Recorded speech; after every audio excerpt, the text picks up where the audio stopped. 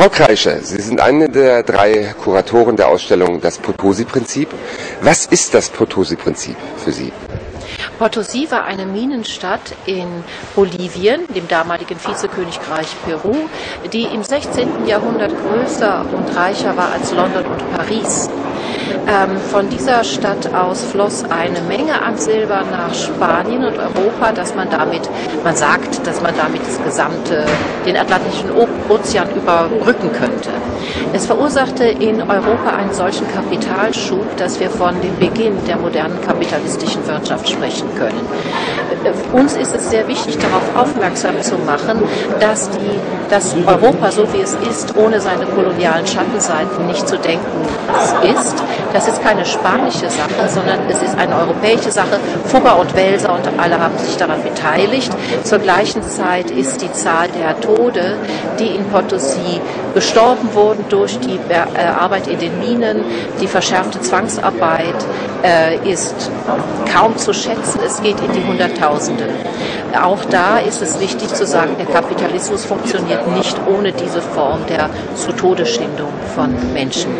Dieses äh, Prinzip äh, möchten wir gerne übertragen. Wir möchten sagen, dass es eine Kontinuität gibt zwischen der Globalisierung, wie sie damals herrschte, und der Globalisierung, wie sie jetzt ist. Die Globalisierung spiegelt sich nicht nur in der weltweiten Arbeitsteilung, also, äh, sondern auch in den Bildern. Auch die Bilder in der damaligen Zeit zirkulierten. Sie, sie so zirkulierten. Sie können in Indien genau solche Barockgemälde entdecken, wie im Vizekönigreich Peru.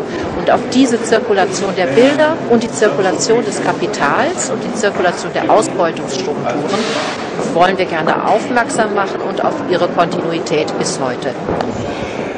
Nach welchen Prinzipien haben Sie die künstlerischen Arbeiten, die hier zu sehen sind, ausgewählt? Denn das Haus der Kunst ist ja ein Haus, das sich vor allem der Kunst, der Kultur widmet und weniger ökonomischen und politischen Zusammenhängen.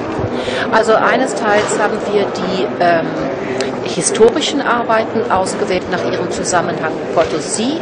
Das brauchte nicht unbedingt zu sein, dass sie in der Potosí, in Potosí selber sind, sondern auch aus den Gegenden kommen, aus denen die meisten Zwangsarbeiter rekrutiert wurden.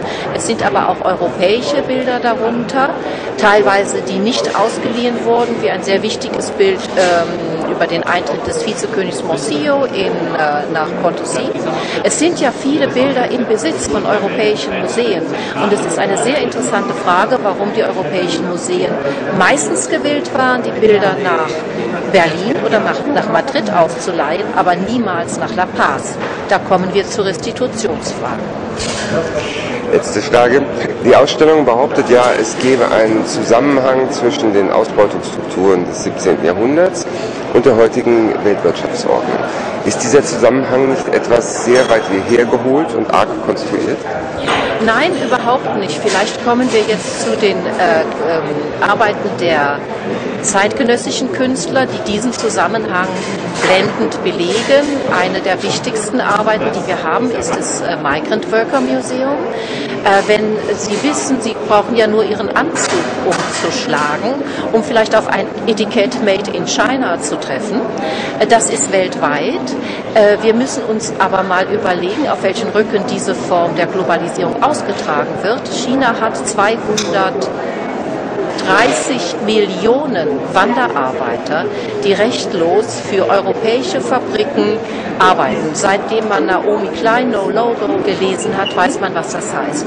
Und diese Art und Weise von Zwangsarbeit ja fast auch. Und diese Art und Weise von Migration, das können Sie wirklich ganz strukturell nachverfolgen, dass das genau dieselben Strukturen sind wie in Potosí. Wir haben einen umfangreichen Katalog ähm, gemacht, der nicht nur die Bilder hat, sondern auch historische Aufsätze, wo Sie diese strukturelle Parallelität absolut verfolgen können. Und das ist sehr, sehr faszinierend. Frau Kreischer, wir danken Ihnen für das Gespräch. Okay.